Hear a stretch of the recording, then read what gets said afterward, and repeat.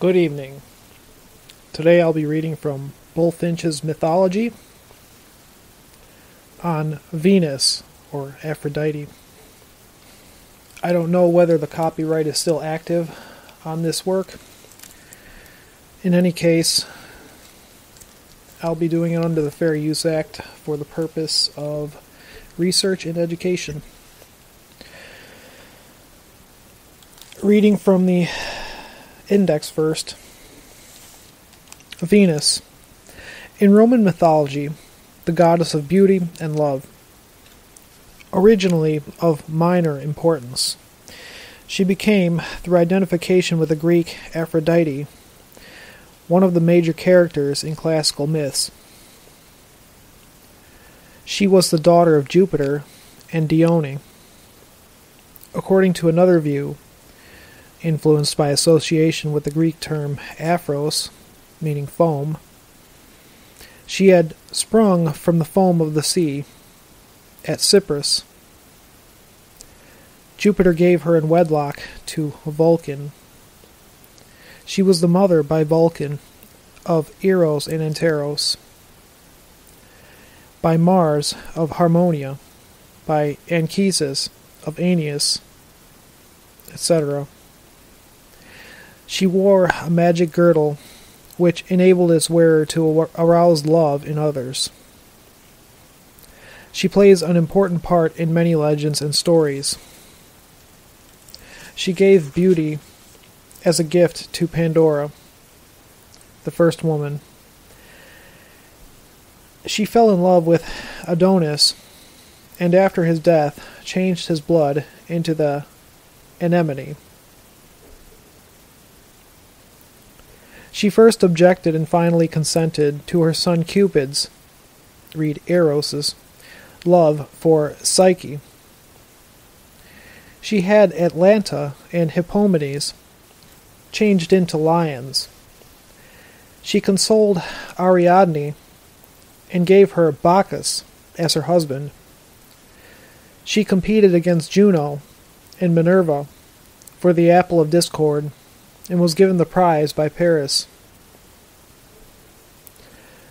She destined Helen, the wife of Menelaus, for Paris, and caused thus the Trojan War. She sided with the Trojans against the Greeks, and enlisted the help of her admirer, Mars, etc., etc. So, this is all symbol level stuff we've just read. And it doesn't easily reveal its practical importance. And before I go on reading about Venus, I'd like to connect some dots that may help to reveal the practical importance of Venus and make the rest of this a little more understandable. The first and please bear with me here. We're going to go to the Bible, the Holy Bible. That is Revelation 22 16. I am the root and the descendant of David, the bright morning star. Surely I am coming soon. Nice, huh? Did you also know that Lucifer is associated with the planet Venus? Lucifer's name, as you may know, can be expressed as the adjective light bringing. Lucifer is known as the morning star. So we're tying together Venus, Jesus, and Lucifer. It's going to get wilder from here. And before the end of this, I'm going to explain in layman's English what the importance of Venus is in scientific terms. That's right. Rational and logical terms. What Venus's role is in this world. But let's go back to the mythology book here. Page 6. Venus, Aphrodite, the goddess of love and beauty, was the daughter of Jupiter and Dione. Others say that Venus sprang from the foam of the sea. the zephyr wafted her along the waves to the Isle of Cyprus, where she was received and attired by the seasons, and then led to the assembly of the gods. All were charmed with her beauty, and each one demanded her for his wife. Jupiter gave her to Vulcan in gratitude for the service he had rendered in forging thunderbolts. So the most beautiful of the goddesses became the wife of the most ill favored of gods. Venus possessed an embroidered girdle called cestus, which had the power of inspiring love. Her favorite birds were swans and doves, and the plants sacred to her were the rose and the myrtle. Cupid, read Eros, the god of love, was the son of Venus. He was her constant companion, and, armed with bow and arrows, he shot the darts of desire into the bosoms of both gods and men. There was a deity named Anteros, who was sometimes represented as the avenger of slighted love, and sometimes as the symbol of reciprocal affection. The following legend is told of him. Venus, complaining to Themis that her son Eros continued always a child, was told by her that it was because he was solitary, and that if he had a brother, he would grow apace. Anteros was soon afterwards born, and Eros immediately was seen to increase rapidly in size and strength. So, moving to page 80. Chapter 11 Cupid and Psyche. A certain king and queen had three daughters. The charms of the two elder were more than common, but the beauty of the youngest was so wonderful that the poverty of language is unable to express its due praise. The fame of her beauty was so great that strangers from neighboring countries came in crowds to enjoy the sight and looked on her with amazement, paying her that homage which is due only to Venus herself. In fact, Venus found her altars deserted while men turned their devotion to this young virgin. As she passed along, the people sang her praises and strewed her way with chaplets and flowers. This perversion of homage due only to the immortal powers, to the exaltation of a mortal, gave great offense to the real Venus. Shaking her ambrosial locks with indignation, she exclaimed, Am I then to be eclipsed in my honors by a mortal girl? In vain, then, did that royal shepherd, whose judgment was approved by Jove himself, give me the palm of beauty over my illustrious rivals, Pallas and Juno. But she shall not so quietly usurp my honors. I will give her cause to repent of so unlawful a beauty. Thereupon she calls her winged son Cupid, mischievous enough in his own nature, and rouses and provokes him yet more by her complaints. She points out Psyche to him and says, My dear son, punish that contumacious beauty Give thy mother a revenge as sweet as her injuries are great. Infuse into the bosom of that haughty girl a passion for some low, mean, unworthy being, so that she may reap a mortification as great as her present exaltation and triumph. So here we have Venus, Psyche, and Cupid, which is Venus's son. Venus is love and beauty. Cupid's Cupid. We'll get into him in a minute. But Psyche Psyche is your mind, or my mind, or the mind of the human. What they're alluding to here is the love that's generated in the minds of humans versus the love that is. The one binding force that holds this universe together. Love is a binding force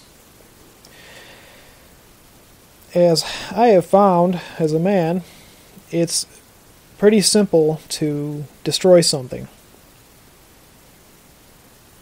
Take a sledgehammer and smash up a brick wall that it took somebody, you know, 30 or 40 hours to lay. But using the brick wall as an allegory, most people don't understand what kind of expertise it takes to build a brick wall. It takes skill and it takes expertise. It is definitely a lot harder than knocking it down with a sledgehammer, which any idiot with shoulder muscles can do. In that brick wall, the love component is the mortar, which cradles the brick. In science itself,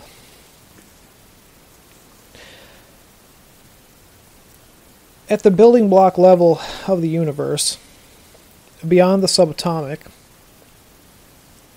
science recognizes that what holds, say, an atom together, that force which holds the atom together, or the force by which everything is held together, is called dark matter or dark forces. And they say that most of the universe is composed of dark matter, that only a very small percentage of it is composed of, I guess, light matter.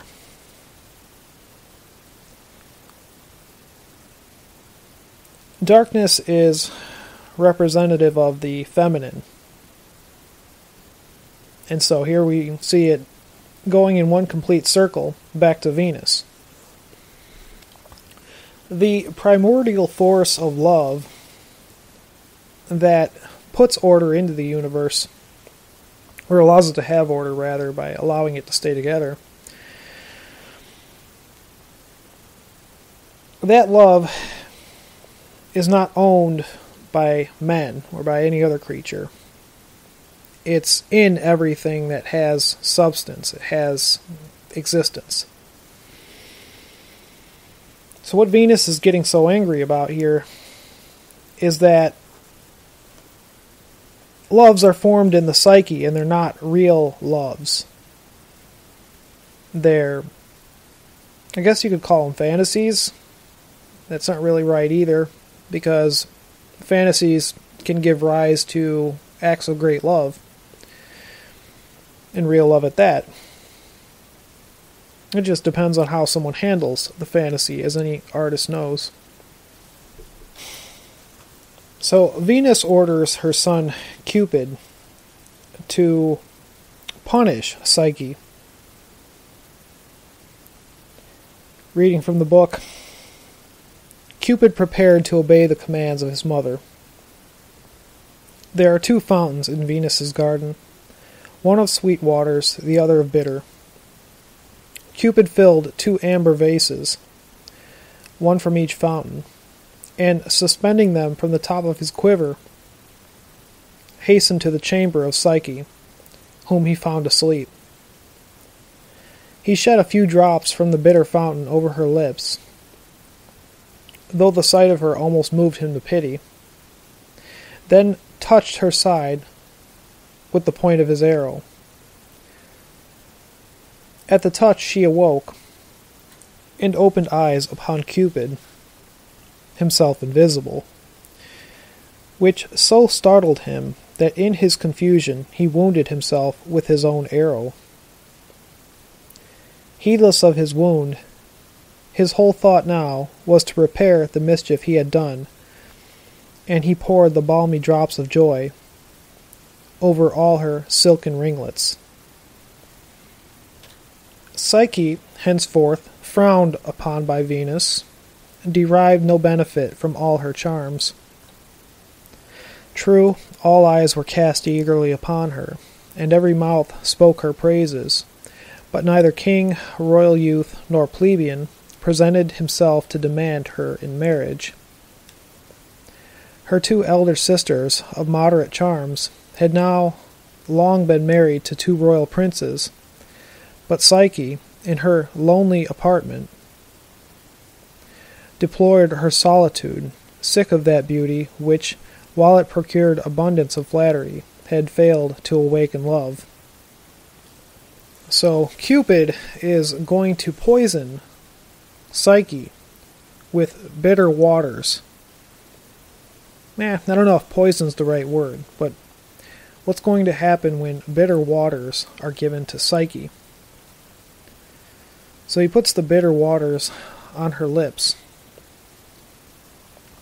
And then, this isn't explained really. He touched her with the point of his arrow while she's sleeping. Why did he do that? It caused her to wake up, and then she saw him. Continuing on with the book. Her parents, afraid that they had unwittingly incurred the anger of the gods, consulted the oracle of Apollo and received this answer. Quote, the virgin is destined for the bride of no mortal lover. Her future husband awaits her on the top of the mountain. He is a monster whom neither gods nor men can resist. The dreadful decree of the oracle filled all the people with dismay, and her parents abandoned themselves to grief. But Psyche said, why, my dear parents, do you now lament me? You should rather have grieved when the people showered upon me undeserved honors, and with one voice called me a Venus. I now perceive that I am a victim to that name. I submit. Lead me to that rock to which my unhappy fate has destined me.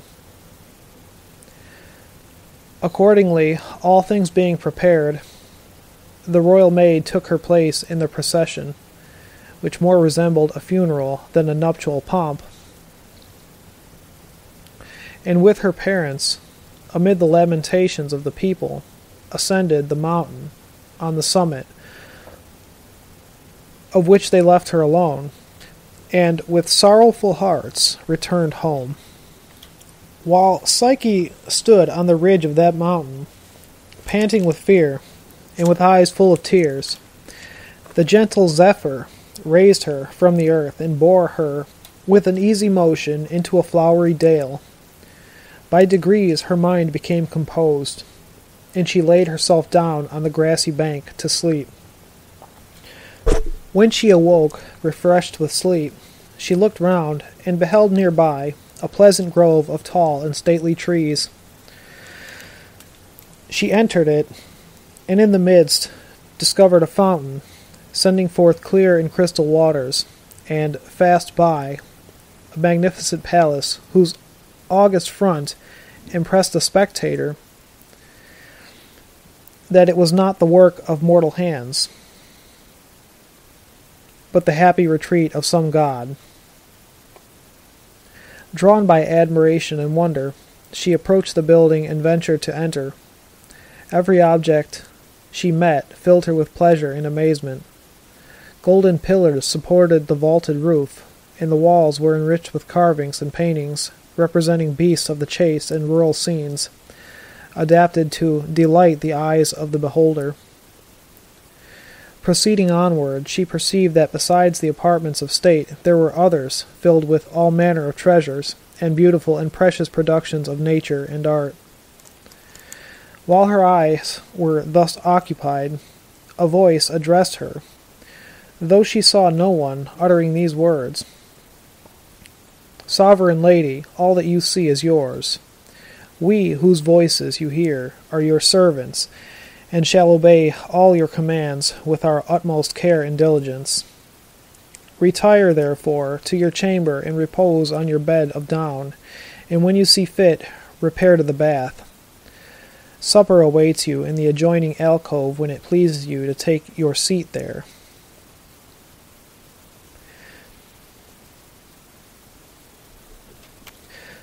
Psyche gave ear to the admonitions of her vocal attendants, and after repose and the refreshment of the bath, seated herself in the alcove, where a table immediately presented itself, without any visible aid from waiters or servants, and covered with the greatest delicacies of food and the most nectareous wines. Her ears, too, were feasted with music from invisible performers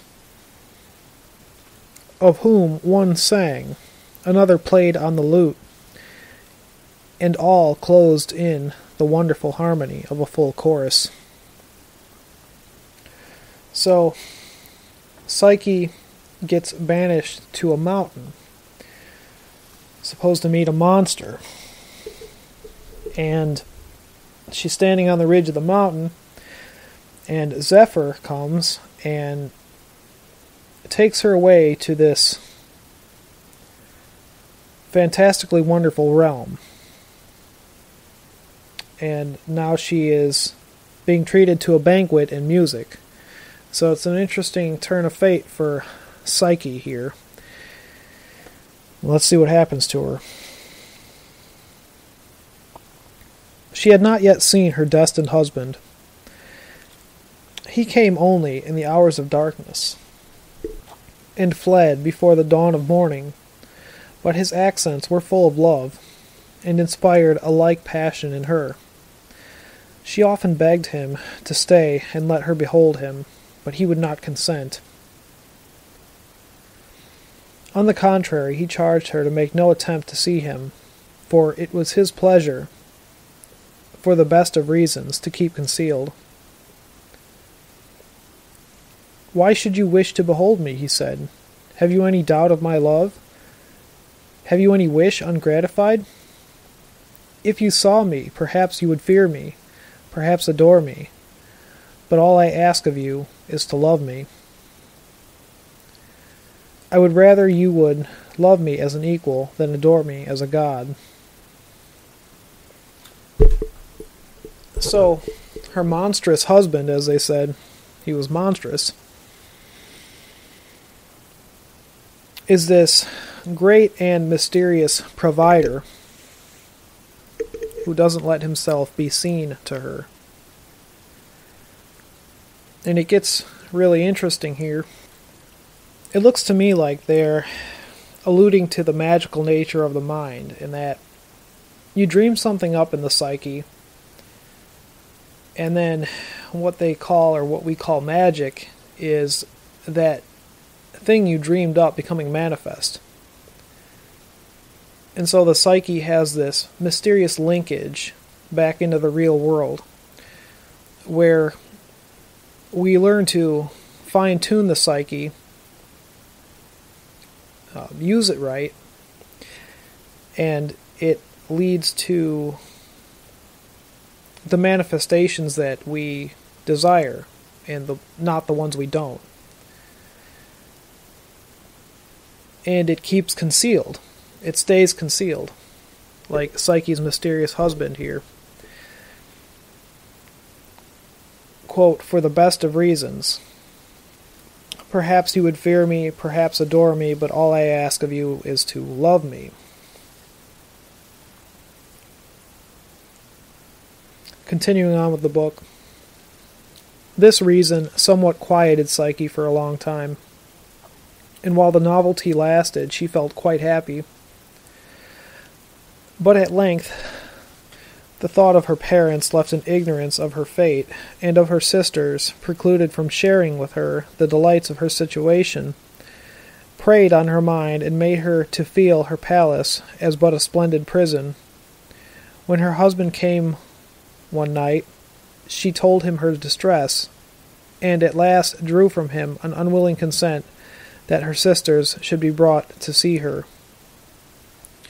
So, calling Zephyr, she acquainted him with her husband's commands, and he, promptly obedient, soon brought them across the mountain down to their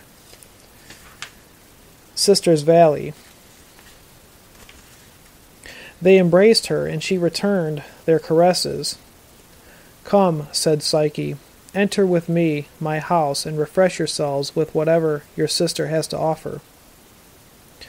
Then, taking their hands, she led them into her golden palace, and committed them to the care of her numerous train of attendant voices, to refresh them in her baths and at her table, and to show them all her treasures. The view of these celestial delights caused envy to enter their bosoms. At seeing their young sister possessed of such state and splendor, so much exceeding their own, they asked her numberless questions, among others, what sort of a person her husband was. Psyche replied that he was a beautiful youth who generally spent the daytime in hunting upon the mountains. The sisters, not satisfied with this reply, soon made her confess that she had never seen him. Then they proceeded to fill her bosom with dark suspicions. Call to mind, they said, the Pythian oracle that declared you destined to marry a direful and tremendous monster. The inhabitants of this valley say that your husband is a terrible and monstrous serpent who nourishes you for a while with dainties that he may by and by devour you. Take our advice. Provide yourself with a lamp and a sharp knife. Put them in concealment that your husband may not discover them. And when he is sound asleep, slip out of bed, bring forth your lamp, and see for yourself whether what they say is true or not. If it is, hesitate not to cut off the monster's head, and thereby recover your liberty. Psyche resisted these persuasions as well as she could, but they did not fail to have their effect on her mind. And when her sisters were gone, their words and her own curiosity were too strong for her to resist. So she prepared her lamp and a sharp knife, and hid them out of sight of her husband, when he had fallen into his first sleep, she silently rose, and, uncovering her lamp, beheld not a hideous monster, but the most beautiful and charming of the gods, with his golden ringlets wandering over his snowy neck and crimson cheek, with two dewy wings on his shoulders, whiter than snow, and with shining feathers like the tender blossoms of spring. As she leaned the lamp, over to have a nearer view of his face. A drop of burning oil fell on the shoulder of the god, startled with which he opened his eyes and fixed them full upon her. Then, without saying one word, he spread his white wings and flew out of the window. Psyche, in vain endeavoring to follow him, fell from the window to the ground. Cupid, beholding her, as she lay in the dust, stopped his flight for an instant, and said, O foolish Psyche, is it thus you repay my love? After having disobeyed my mother's commands and made you my wife? Will you think me a monster and cut off my head? But go, return to your sisters, whose advice you seem to think preferable to mine. I inflict no other punishment on you than to leave you forever. Love cannot dwell with suspicion. So saying, he fled away, leaving poor Psyche prostrate on the ground, filling the place with mournful lamentations. So now we come to the issue of what does Cupid symbolize here? Cupid belongs to Venus as her son. Cupid does not belong to Psyche. Cupid is a product of the primordial love force that binds the universe together. the best way to sum Cupid up is with the phrase to fall in love. Fall in love. Now, those are three words that you should pay careful attention to. Think of the word fall. Fall can be a good thing, but if it is a good thing, it's also going to be a bad thing. Now, on the other hand, fall is just a bad thing. If you fall and you learn a lesson from it about how not to fall in the future in the same manner, then no matter how injurious the fall was, you survived to learn a lesson from it, and it was bittersweet, it was counterbalanced. And you gained from the fall a timeless prize. A prize is wisdom. Cupid's arrow is the product of beauty and love combined with a poorly trained attention. For a while, the attention is distracted for a prolonged period unnecessarily with the beauty and love that are affecting the person. Misfortune is going to creep up silently from the blind side, as it always does, as we all know, and strike.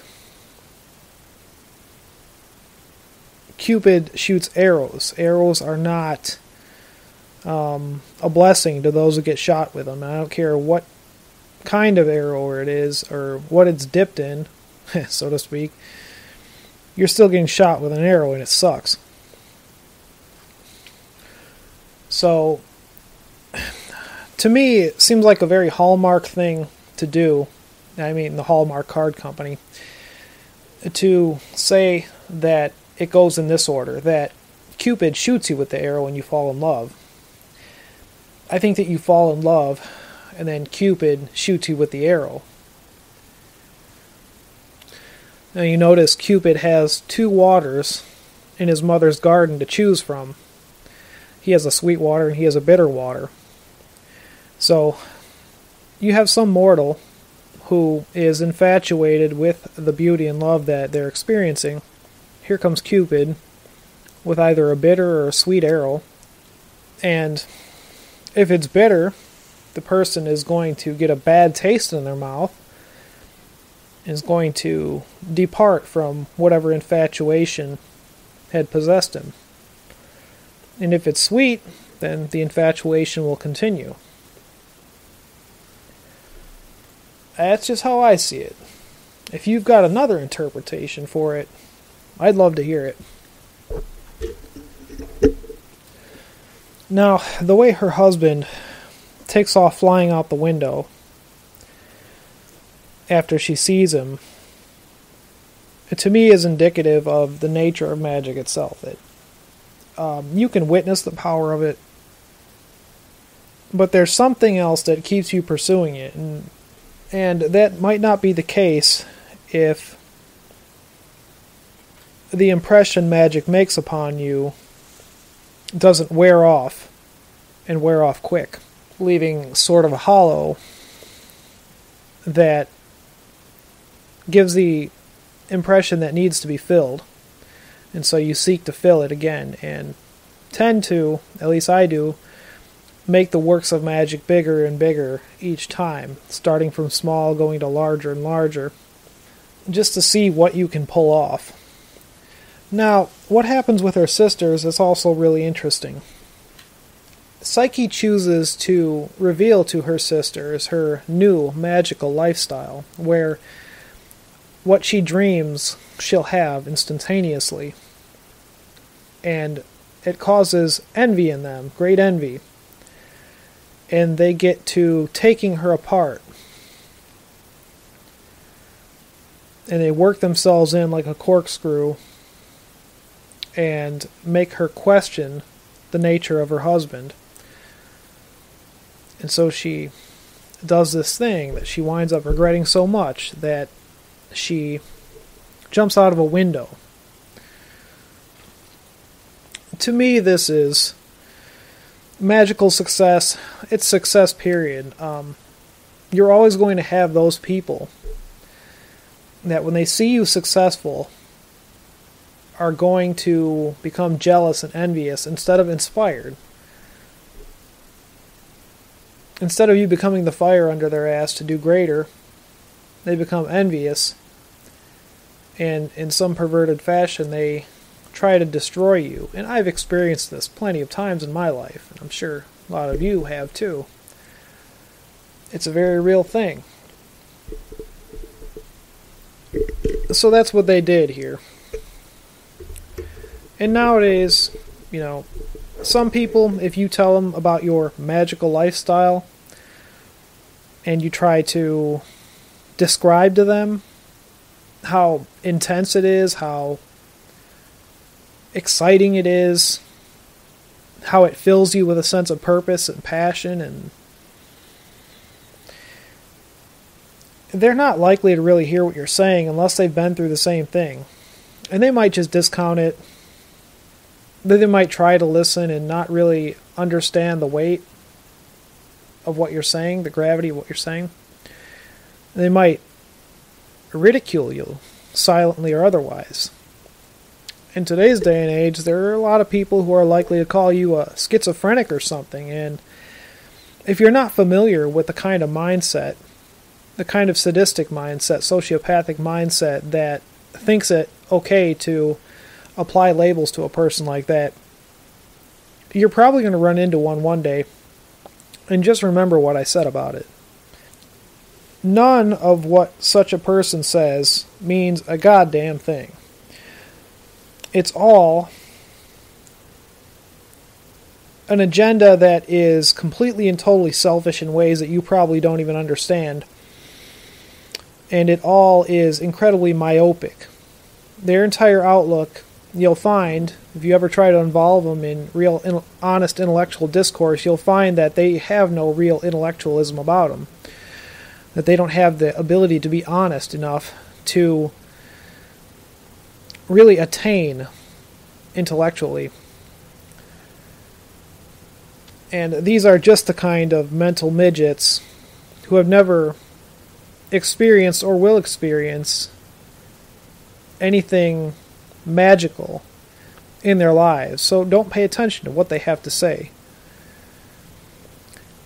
A schizophrenic is a thoroughly dysfunctional person. And the diagnosis of schizophrenia is used way too leniently today. Psychiatrists have way too much discretion and freedom in what they do to give these diagnoses and then to begin treating them with this drug or that drug. And even if there are no drugs, the fact that the psychiatrist will tell the poor person that their mind is broken may render that person in some degree or another hampered. Their full potential can't be accessed because they've been convinced that they're broken by a person that was supposed to be in a position of trust, a professional, who did not even have the professional integrity to actually study and understand the field that they're in. They're using their professional job title to identify personality characteristics in people that they don't like, that they personally have a bias against, they're not separating their ego from their work, and they are subsequently diagnosing people with disorders that they don't have, like Asperger's and attention deficit disorder, autism, and schizophrenia, and delusion, and so on and so forth. That to me is what's being portrayed here you know, this girl wants to show her sisters, this psyche wants to show her sisters what a wonderful life she now lives. And what her sisters do take her apart and turn her against her husband to question him, causing him to fly away gone forever, I presume. She's been convinced to give up the magic in her life. And you can be too. Without an understanding of what is a sociopathic mindset. Understanding what a sociopath is is critical to you being able to establish a psychic defense. Because even if you don't come into contact with a sociopath that you've known, the fact that they can pull you up in their mind allows them to launch the same verbal curses that they would be otherwise at you from a distance, presumably any distance. Same thing with people praying for you. It's uh, abuse of telepathic communication. And as far as psychic defense goes, it should be one of your foremost concerns. Anyway, back to the book. When she had recovered some degree of composure, she looked around her. But the palace and gardens had vanished, and she found herself in the open field not far from the city where her sisters dwelt. She repaired thither and told them the whole story of her misfortunes, at which, pretending to grieve, those spiteful creatures inwardly rejoiced. For now, said they, he will perhaps choose one of us. With this idea, without saying a word of her intentions, each of them rose early the next morning and ascended the mountains, and having reached the top, called upon Zephyr to receive her and bear her to his lord. Then, leaping up and not being sustained by Zephyr, fell down the precipice and was dashed to pieces. So, to me, Zephyr is the condition of your being accepting of the fact that there is one primordial love. There's one master access point, and no magic can be done with any sort of reliability until you've recognized that. In fact, Aleister Crowley had that as a core component of his work. To him, love was a law, and love is a law. True love, not love generated within the psyche. So, Psyche's sisters set out to have the magical lifestyle that she had and they launched and when they launched they weren't in keeping with the law of love called Zephyr and they fell down and busted their shit now if you come to know psychopaths sociopaths over a long period of time you'll notice that this is the pattern for them They'll get something good, deliberately destroy it. Get something good, deliberately destroy it. They leap and they fall right back down just as fast as they leapt up.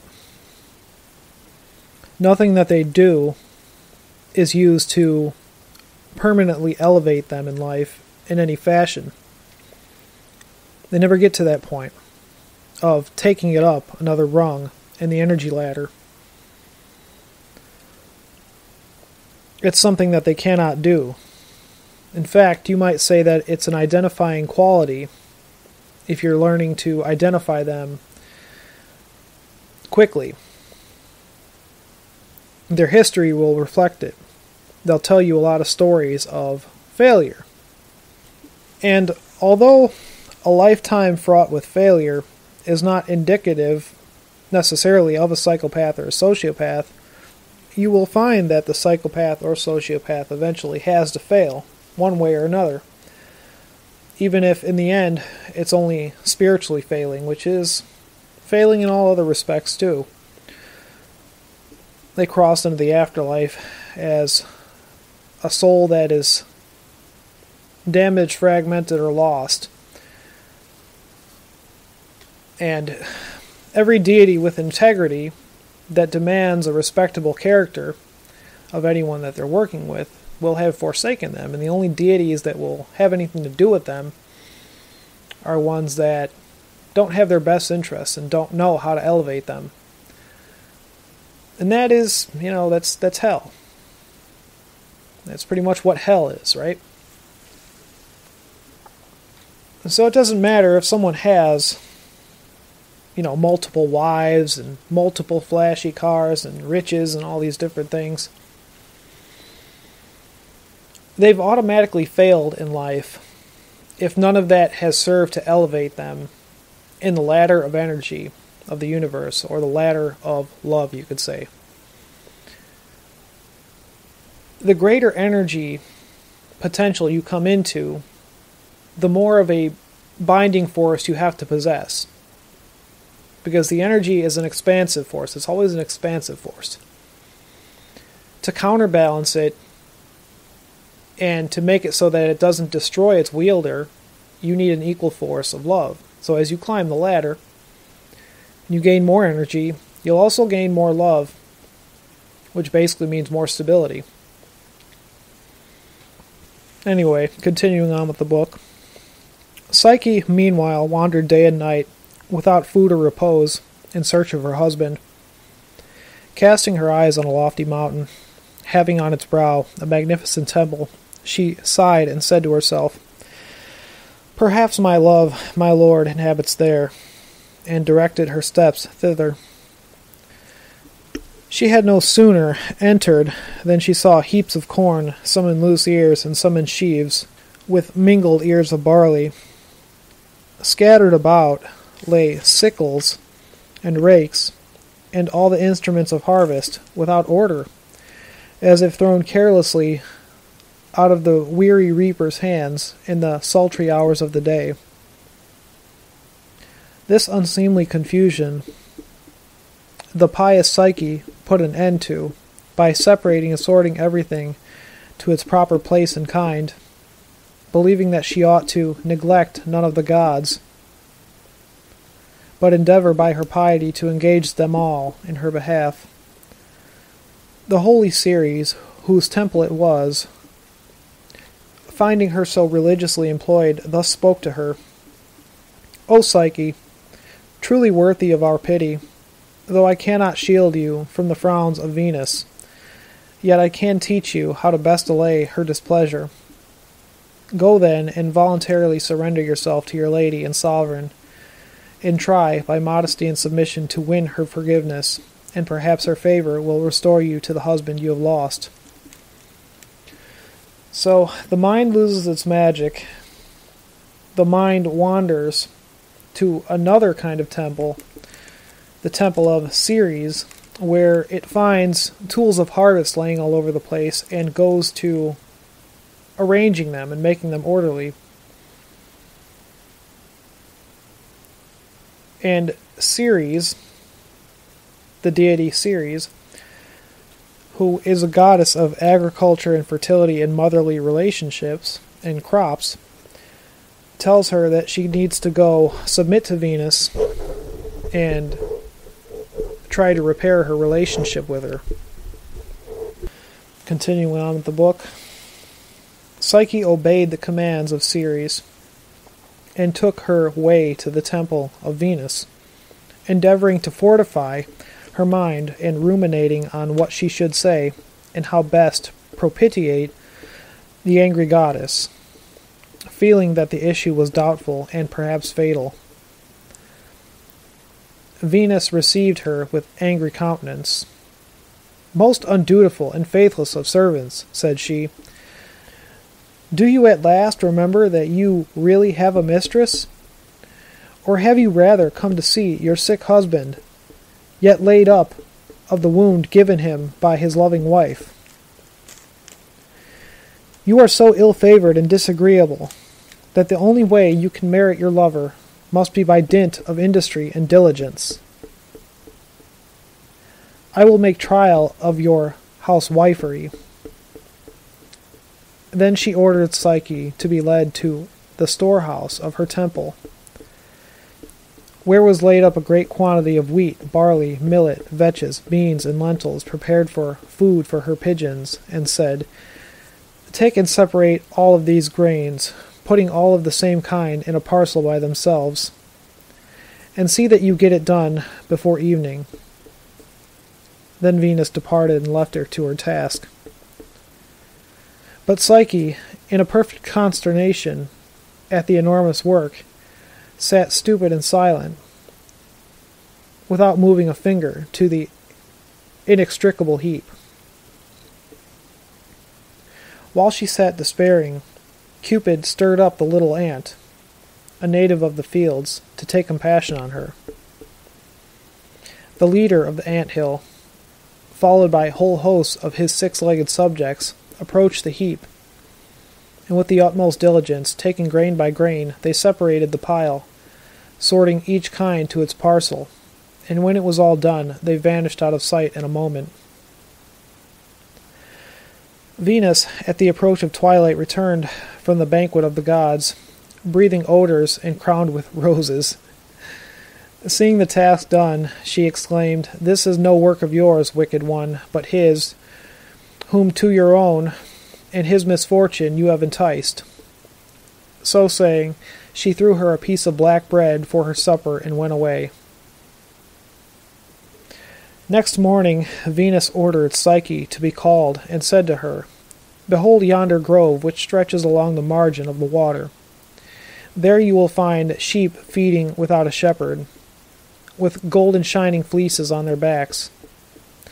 Go, fetch me a sample of that precious wool gathered from every one of their fleeces.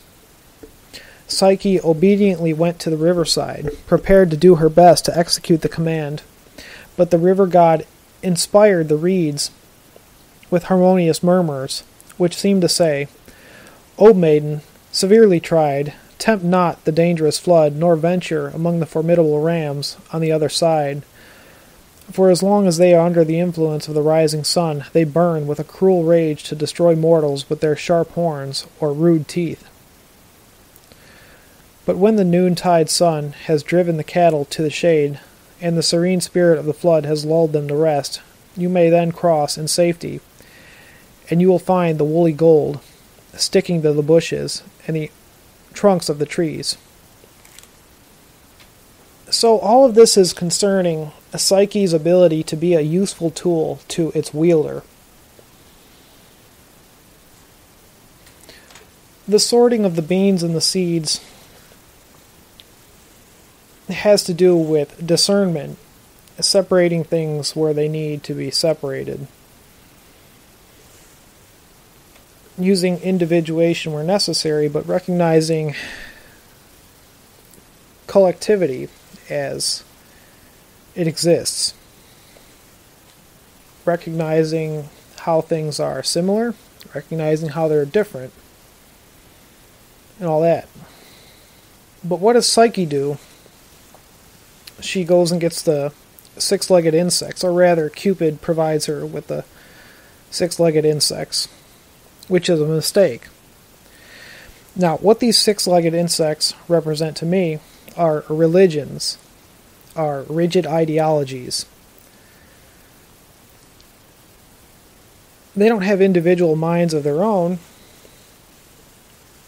They're units of a hive mind controlled by a hive mind, and thus they are unfit to perform discernment for us. And the mistake that we make when we take any religion or magical system in the wrong way or too seriously or not seriously enough,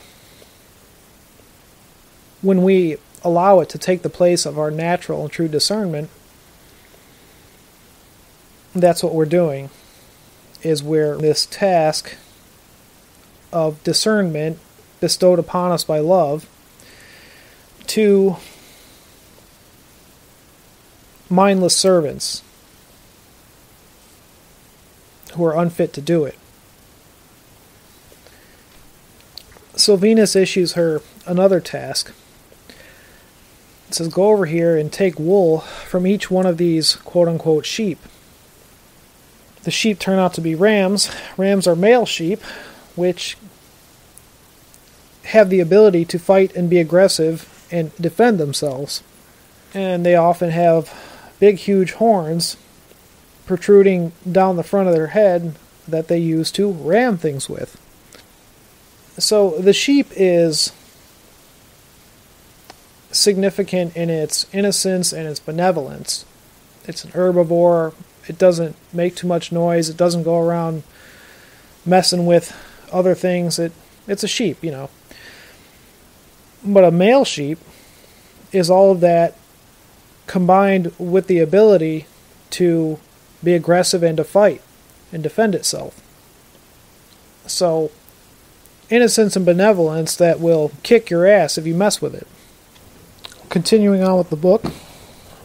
Thus, the compassionate river god gave Psyche instructions on how to accomplish her task. And by observing his, his directions, she soon returned to Venus with her arms full of the golden fleece.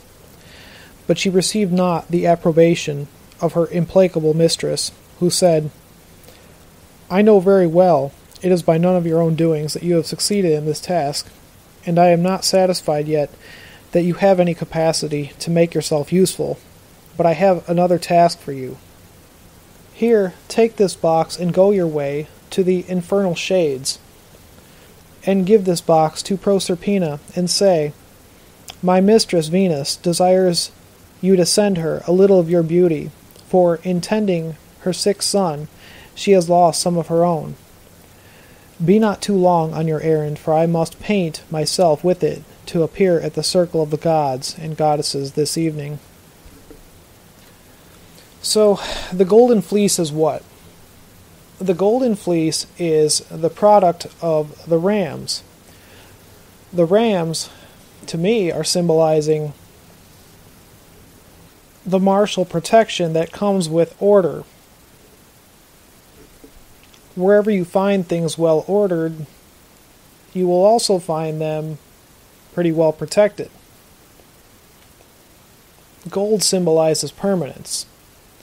Fleece symbolizes protection, warmth, comfort. Fleece is what you make wool from. Wool is probably the best outdoor fabric that there is in that it will insulate you even if it's wet. So, golden fleece is the product of the martial protection of order. And the woolly gold sticking to the bushes and the trunks of the trees, as the book quotes, is that influence rubbing off on others around it. It's bestowing a free gift of its own essence upon those around it. And they've more or less earned it in having to deal with the callousness that is so typical of such a thing, of martial orders. And martiality is not something that you can simply understand and embody without having done it yourself. If not having to deal with these creatures in proximity and be subject to them, be subject to the martial order, then you have to be part of it. It's one or the other. But you can't come in as an outsider who is unfamiliar with the nature of it and take its benefits and keep them. That's not the way it works.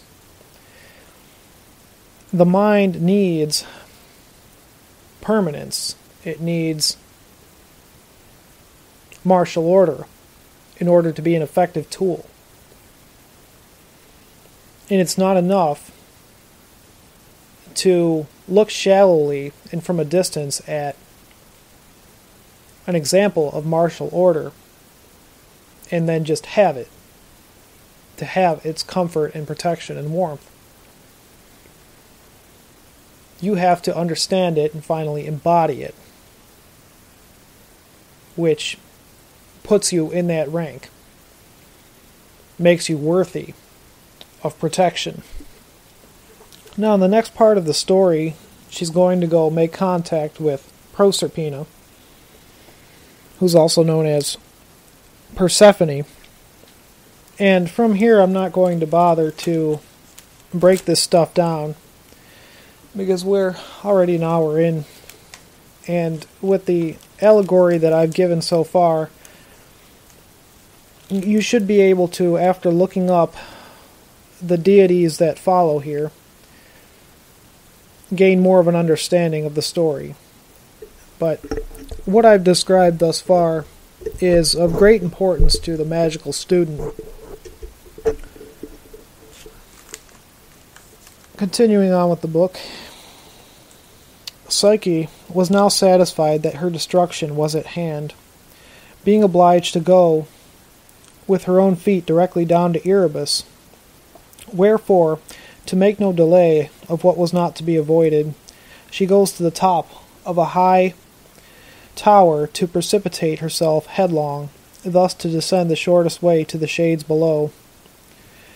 But a voice from the tower said to her, Why, poor unlucky girl, dost thou design to put an end to thy days in so dreadful a manner? And what cowardice makes thee sink under this last danger, who hast been so miraculously supported in all thy former? Then the voice told her how by a certain cave she might reach the realms of Pluto, and how to avoid all the dangers of the road, to pass by Cerberus, the three headed dog, and prevail on Charon, the ferryman, to take her across the Black River and bring her back again. But the voice added, When Proserpina has given you the box filled with her beauty, of all things, this is chiefly to be observed by you, that you never once open or look into the box, nor allow your curiosity to pry into the treasure of the beauty of the goddesses. Psyche, encouraged by this advice, obeyed it in all things, and, taking heed to her ways, travelled safely to the kingdom of Pluto. She was admitted to the palace of Proserpina, and without accepting the delicate seat or delicious banquet that was offered her, but contented with coarse bread for her food, she delivered her message from Venus. Presently the box was returned to her, shut and filled with the precious commodity. Then she returned the way she came, and was glad to come out once more into the light of day. But having got so far successfully, through her dangerous task, a longing desire seized her to examine the contents of the box. What, said she, shall I, the carrier of this divine beauty, not take the least bit to put on my cheeks to appear to more advantage in the eyes of my beloved husband? So she carefully opened the box, but found nothing there of any beauty at all, but an infernal and truly Stygian sleep which, being thus set free from its prison, took possession of her, and she fell down in the midst of the road, a sleepy corpse without sense or motion. But Cupid, being now recovered from his wound, and not able longer to bear the absence of his beloved Psyche, slipping through the smallest crack of the window of his chamber, which happened to be left open, flew to the spot where Psyche lay, and gathering up the sleep from her body, closed it again in the box, and waked Psyche with a light touch of one of his arrows. Again, said he, hast thou almost perished by the same curiosity. But now perform exactly the task imposed on you by my mother, and I will take care of the rest. Then Cupid, as swift as lightning, penetrating the heights of heaven, presented himself before Jupiter with his supplication. Jupiter lent a favoring ear, and pleaded the cause of the lover so earnestly with Venus that he won her consent. On this he sent Mercury to bring Psyche up to the heavenly assembly.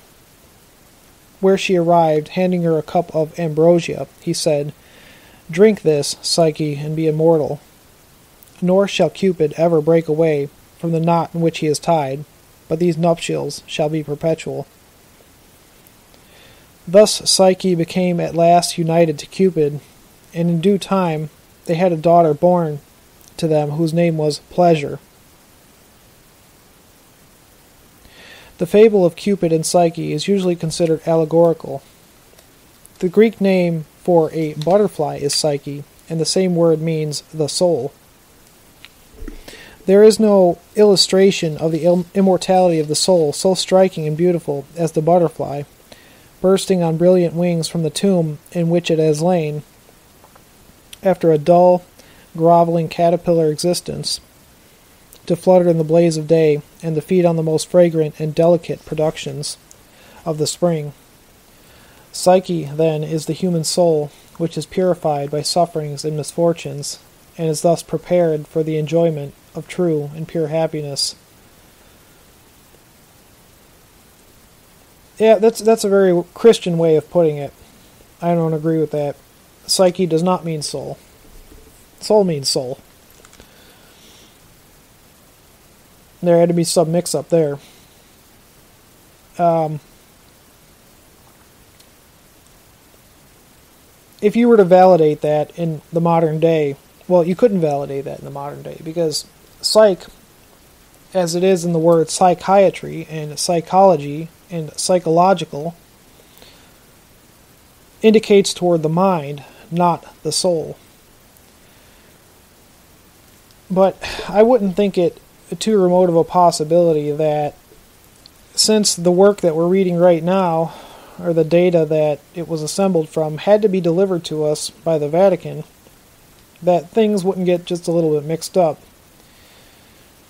And that the way the stories are arranged in allegorical fashion is very ingenious, and that nobody even sees a reason to modify it or adulterate it. And if they do, they don't modify or adulterate the right parts to make it useless.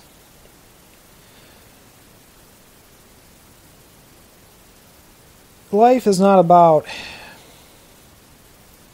Life is not built from suffering and misfortune.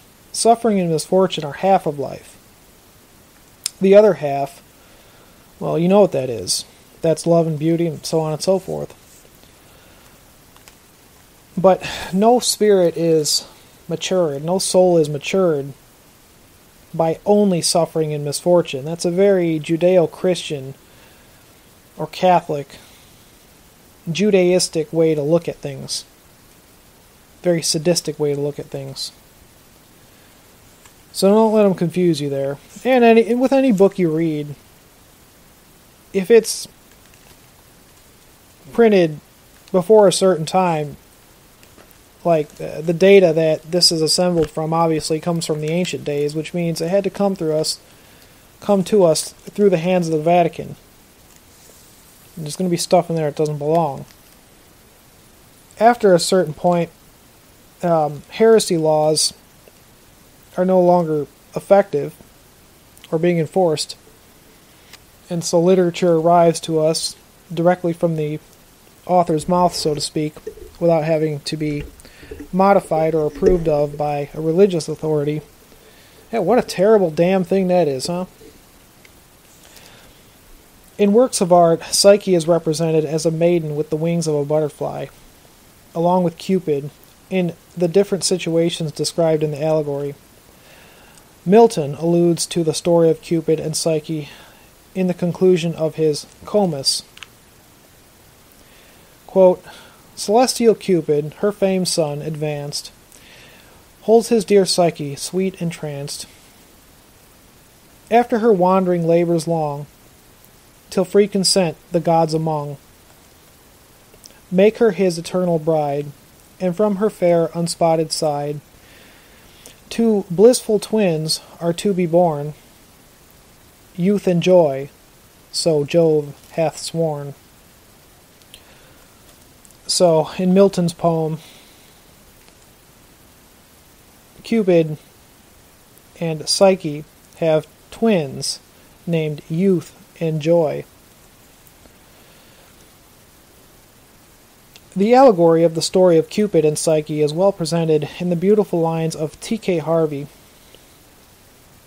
Quote, They wove bright fables in the days of old, when reason borrowed fancy's painted wings, when truth's clear river flowed over sands of gold, and told in song its high and mystic things.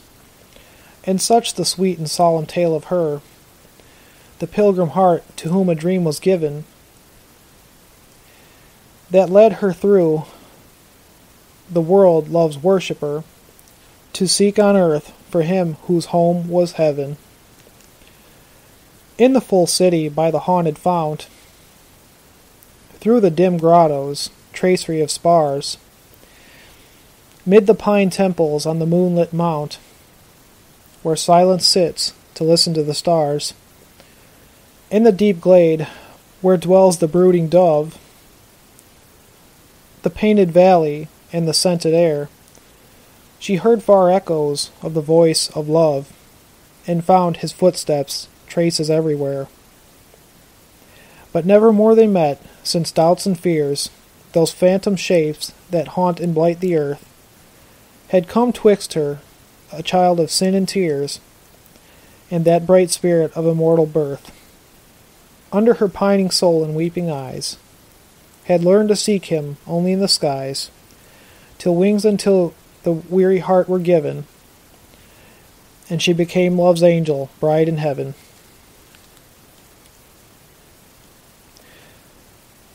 The story of Cupid and Psyche first appears in the works of Apuleius, a writer of the second century of our era. It is therefore of much more recent date than most of the legends of the age of fable. It is this that Keats alludes to in his quote, Ode to Psyche. Quote, O latest born, and loveliest vision far, of all Olympus's faded hierarchy, fairer than Phoebe's sapphire region star, or Vesper, amorous, glow warm of the sky, fairer than these, though temple thou hast none, nor altar heaped with flowers, nor virgin choir to make delicious moan. Upon the midnight hours, no voice, no lute, no pipe, no incense sweet, from chain swung censer teeming, no shrine, no grove, no oracle, no heat, of pale mouthed prophet dreaming.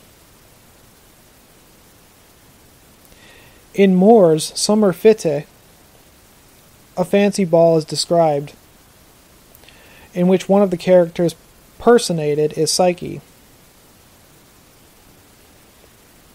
Quote, Not in dark disguise tonight. Hath our young heroine veiled her light, for see she walks the earth, love's own, his wedded bride by holiest vow, pledged in Olympus, and hath made known to mortals by the type which now hangs glittering on her snowy brow that butterfly, mysterious trinket, which means the soul, though few would think it and sparkling thus, on brow so white, tells us we've Psyche here tonight.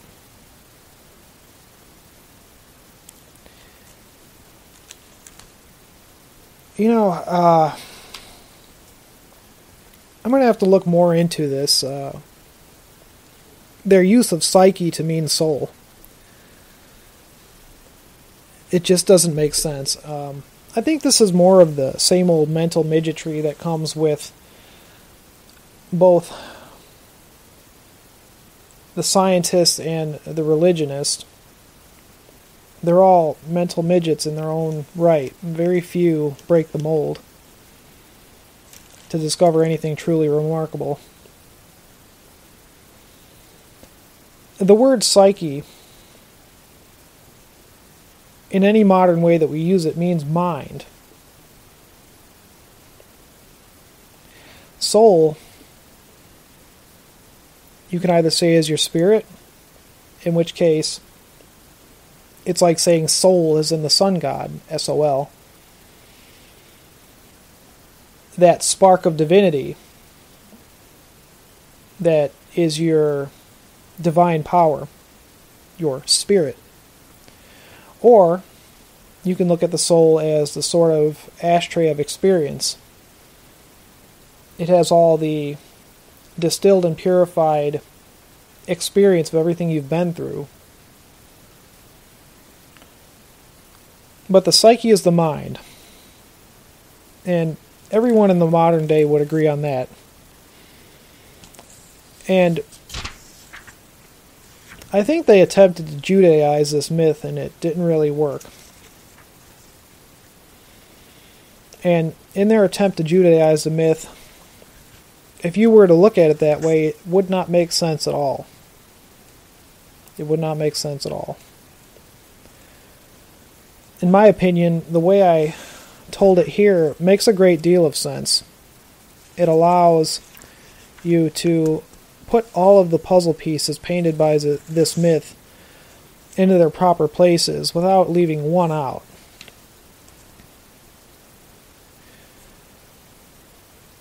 And if you switch mind with soul, it just doesn't work anymore. But you have that same thing going on with a lot of different uh, material and ideas.